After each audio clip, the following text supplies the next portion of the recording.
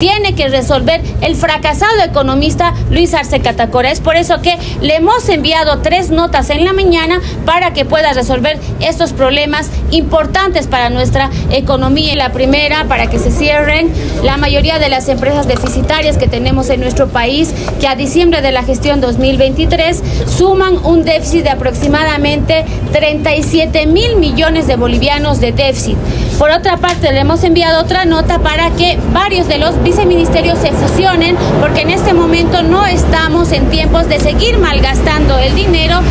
en viceministerios que no hacen ninguna